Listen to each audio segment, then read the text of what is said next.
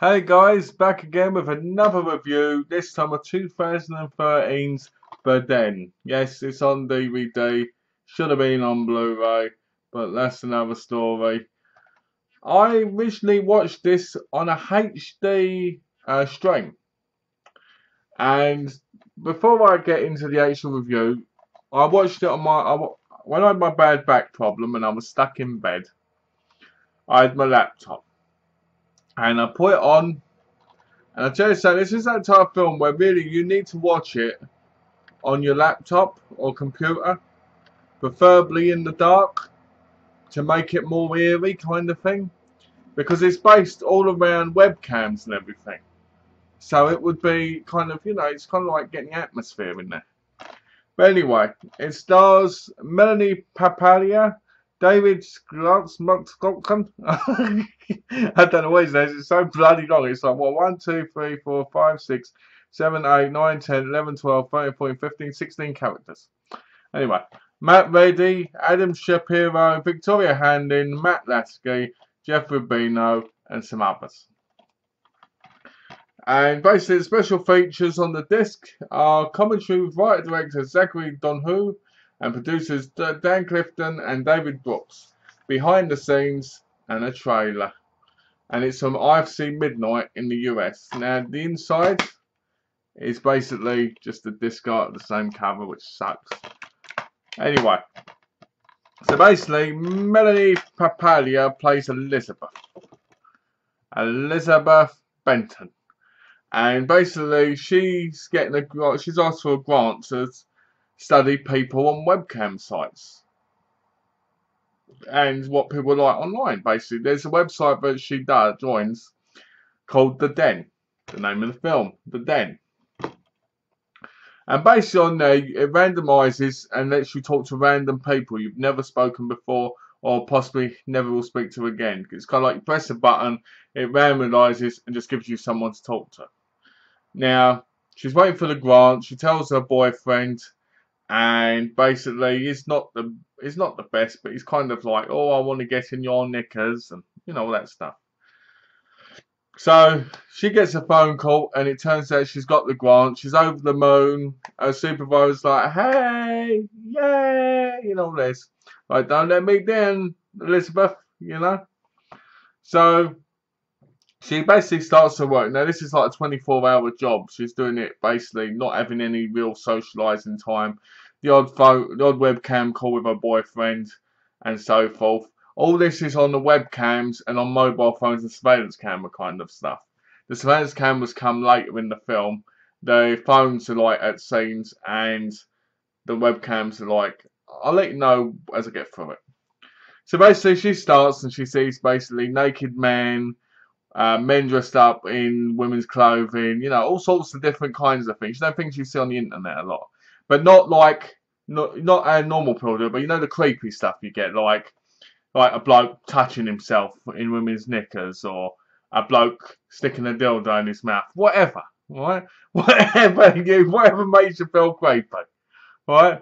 That's something she sees, and it's like a sponge, like a toy penis that ejaculates, and all this and she makes a Nigerian guy who tells her he's a prince, and she goes, "Does this has this ever worked?" And he goes, "Oh yes," and she changes again, goes bye, and changes. It's very realistic in a lot of ways because a lot of the people she meets through it are the type who you would meet through a place like that. And then she comes to a, a video of a woman getting murdered. Basically, a girl gets murdered in front of her and she gets all stressed out, calls the police, and basically they say that the chances are it would be, um, it could be just fake, like most things on the internet, you know, like a prank. So she's like, oh, I don't know, it was really real.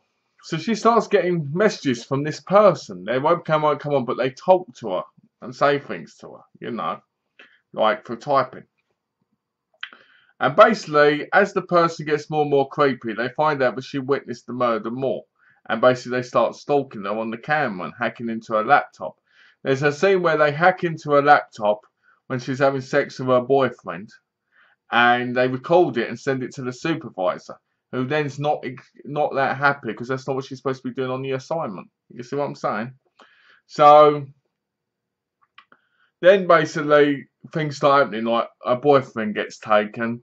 A friend who she asks, who's a hacker, Max, to come round and have a look, basically says he can't really do much, and something happens to him, her friends, and you get like these scenes where you see the person kind of walk into the home with a camera recording, and where she can see the person on the laptop behind her friend. It's like, quick, get out there. It's very, it's very cool. I liked it a lot. I like the way they did it. You know, uh, there's a bit where there's a, I think it's a, I think it's a laptop that's in evidence, and Melanie's around there talking to like the policeman, and you can just see them talking through that blurriness. It's really effective in my view.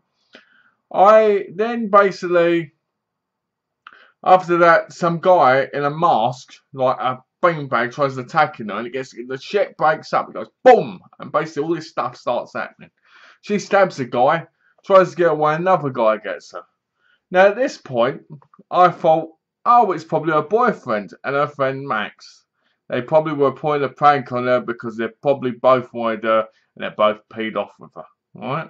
That's what I thought. So I'm waiting. So then you see her, and I think it's. Is it Max or Damien? I think it's it's one of them. And they're, they're, they're talking to each other on webcams on these laptops when they've got these things on their heads and everything. And they're stuck in the rooms. And basically, Mac, you see Max getting killed. And then you see a boyfriend getting killed. And then I can't. I, then she escapes somehow and she runs outside and you get the surveillance cam recording her moves. And you and at this point you get very eerie because you get this kind of thing like you're watching somebody panicking and but they're gonna get they're gonna get got because you can feel this this person there or these people there. You can just feel it in the background every move she makes, you know. And you get some jump scare bits, and then she gets outside and she gets in the car and she goes to drive off, and there's like 20 of them no shitting. Like one jumps on the car, one's chaser, and you're like, bloody hell, what's going on here? They catch her, they hang her upside down, and then I think they shoot her. And what? Uh, and then you kind of find out because this is the spoiler of the movie, basically. You kind of find out that these people record these lives of these people they're tormenting and then kill them and kind of record it and process it on a website for people to kind of see the life and the death of the person they've been tormenting. Like from day one to their death. And it was very creepy, but at the same time, I kind of thought the film could have been better in some aspects. Like, the whole webcam thing, phone thing, and uh, surveillance cam was excellent. I found it very original in a way you know, because I didn't expect that like that. And because going in, I didn't know much about the movie, just what I saw from the trailer. So I was like, wow, I'm really liking this movie. And obviously, being in bed watching a laptop made it more effective because I'm watching on a laptop with a camera. I've like a webcam that would be on end. So it was effective. But then at the very end, you see this you see this bloke sign up for this site to watch it.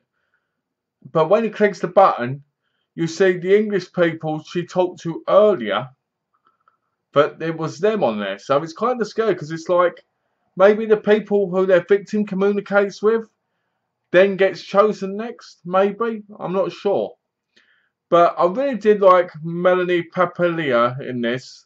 And I liked all the other people. I thought they were great. And for a 79 minute movie, it wasn't a bad movie at all. Uh, I really enjoyed it. I thought, I'm sorry, not 79, 76 minutes. I really enjoyed it. I thought it was fantastic. I thought it was original. I thought it was unique. And I thought it was really, really good. I can't rate it highly enough. After I watched it, after I watched the HD, the HD um, stream of it, I went looking for it to buy it. And it's not, it's rare that I go out and buy a movie straight after I've watched it if I've watched it on a stream.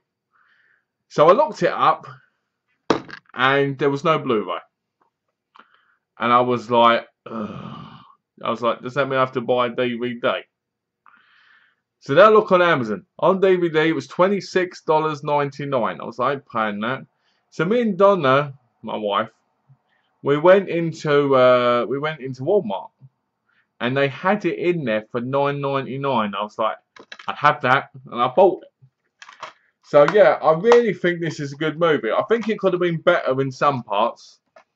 Like, there's a bit where she's trying to adjust the uh, feeds from the video where she was talking to her boyfriend, and as she does, as it happens, you can see the um, you can see the person behind them grab hold of them. I like that. I thought that was quite unique.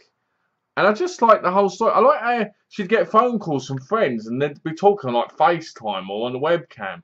It made it real. It didn't make it. What I mean by real is it made it that this person actually had relationships.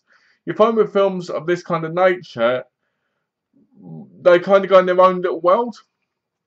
Now, I looked up to see if there were any sites like the Den, and there is. There was one called Stranger Finder or something, and uh, you click the button and you talk to random people. So it was just like the Den, and that was so creepy. When I figured out I could do that, that was even more creepy for me.